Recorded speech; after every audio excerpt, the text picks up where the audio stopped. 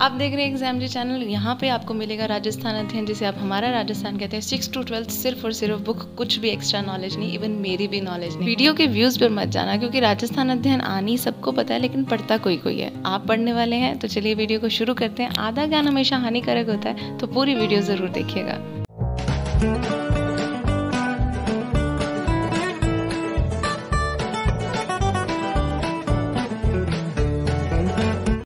Chapter का name है ग्रामीण व शहरी प्रशासन।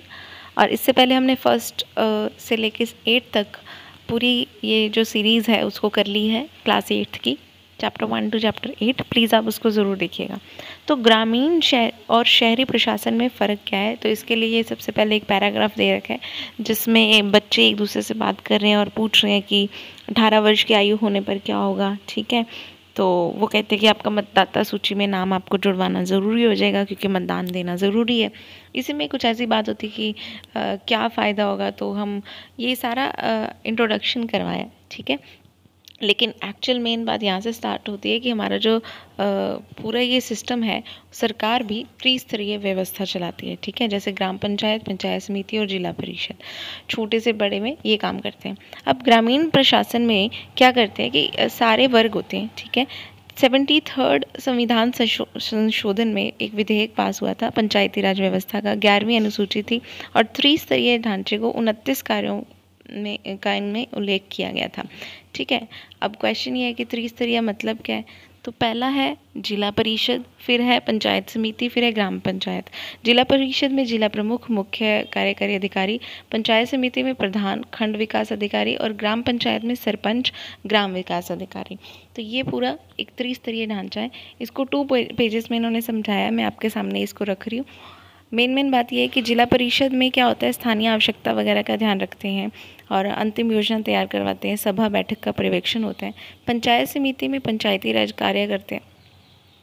और सरपंच पंचायत समिति ये जिला परिषद सदस्य का बनवाते हैं। ग्राम पंचायत में स्वच्छता, पेयजल, इन सब का ध्यान रखते हैं, मनरेगा कार्यक्रम, सार्वजनिक वितरण प्रणाली, ग्रामीण सड़क का रख रखाव ये जो जिला परिषद है, ये पंचायत समिति और उनकी निधियों का अंतरण करते हैं, ठीक है? पंचायत समिति में सभा और है और ग्राम पंचायत में ये सार्वजनिक वितरण प्रणाली का ध्यान रखते हैं, जिसे राशन वितरण कहते हैं, ठीक है? इसी क्रम में आगे ग्रामीण स्वच्छता और ग्रामीण आवासन का कार्यक्रम चलाते हैं। तो ये जिला परिषद, जिला ये पंचायत और ग्राम पंचायत, ये सभी के बारे में आपको सामने दे रखा है। ग्रामीण क्षेत्रों में जनता की शिकायतों को दूर करते हैं, प्राथमिक शिक्षा की गुणवत्ता की और सुनिश्चितता रखते हैं। फिर पंचायत समिति की जो बैठकें हैं, उनका निर्णय, कार्यस्थल, ये सब ध्यान रखते हैं। और लास्ट में ये जन्म, मृत्यु, ये सारा हम बात करें ग्राम पंचायत का। सबसे पहले जिला परिषद, फिर पंचायत समिति और फिर ग्राम पंचायत है, ठीक है? तो ये जन्म, मृत्यु प्रमाण पत्र और ये सारे आपदा वितरण, ये जो भी मेन मेन पॉइंट्स होते हैं, वो आपके ये सामने हैं। ठीक है?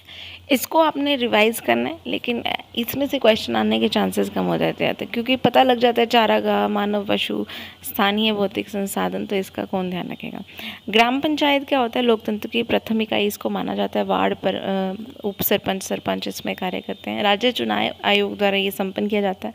कार्यकाल इसमें पाँच वर्ष का होता है, जो भी इसमें सरपंच बनते हैं, ठीक है? लेकिन इसको सरपंच को विश्वास प्रस्ताव से हटाया जा सकता है। ग्राम पंचायत में सचिव भी होते हैं, जो कार्यकारी, जो कागज़ वगैरह का रिकॉर्ड रखते हैं, और ग्राम पंचायत के प्रत्येक माह कम से कम दो बैठकें होनी आवश्यक होती हैं। बात करेंगे पंचायत समिति की तो ये ग्राम पंचायत और जिला परिषद को जोड़ने वाली एक कड़ी मानी जाती है। छोटे छोटे विकास खंडों में इसको करते हैं, इसमें विभाजित। और इसमें न्यूनतम 25 वर्ष का होना ज़रूरी होता है किसी भी पंचायत समिति का सदस्य बनने के लिए। प्रधान उप प्रधान जो होते हैं, वो इससे कार्य रिलेटेबल करते हैं। खंड विकास अधिकारी जिसको ब्लॉक बीडीओ ऑफ़िस आपने नाम सुना होगा तो उसका भी कार्यकाल पाँच वर्ष का होता है। अब है जिला परिषद। तो जिला परिषद में क्या है कि शीर्ष स्तर की ये संस्था मानी जाती है। प्रत्येक ज़िले में वार्ड बनाए जाते हैं। इन वार्डों में से एक एक चुनावित एक सदस्य जैसे पार्षद आप बोलते हो तो उसको चुन लिया जाता है। ये जो पार्षद है ये अपनी सारी जो भी लोकेलिटी है, उसके बारे में आगे रिपोर्ट बना के देता होता है। कोई नीड है तो बताता है। जिला प्रमुख, उप जिला प्रमुख का ये चुनाव करते हैं। जिला परिषद के जो भी निर्वाचित सदस्य होते हैं, और इस तरह एक सरकार बन जाती है, ठीक है? अब आय के स्रोत क्या ग्राम पंचायत में भवन कर, वाहन कर, ये सारे कर ले लेते हैं। पंचायत समिति में स्थानीय शुल्क परियोजनाओं से आ जाते हैं। जिला परिषद में अनुदान, पंचायत समितियाँ, वसूलियाँ, राजस्व सरकारी गैर सरकारी ये सारे इसमें आ जाते हैं, ठीक है? अब नेक्स्ट इसमें बात है ग्राम सभा की। तो ग्राम सभा पंचायती राज की आधारभूत व्यवस्था होती है। राजस्व ग्राम जो होता है, उसमें ये बैठ के बुलाते हैं, मतदाता होते हैं इसमें भी। हर तीन महीने में ग्राम सभा की एक बैठक बुलानी आवश्यक है। आमतौर पर ये जो मेन दिवस होते हैं, जैसे छब्बीस जनवरी, एक मई, पंद्रह अगस्त, दो अक्टूबर नेशनल जो भी डेज़ होते हैं, उसमें ये बुला सकते हैं। वैसे पंचायत का मुखिया जब चाहे बैठक आयोजित कर सकते हैं।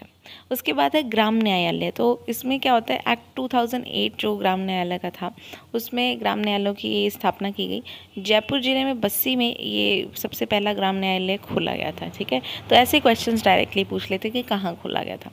अब नगरीय प्रशासन की बात में यहाँ पर सारे एक एक स्टोरी सी बनाई हुई है।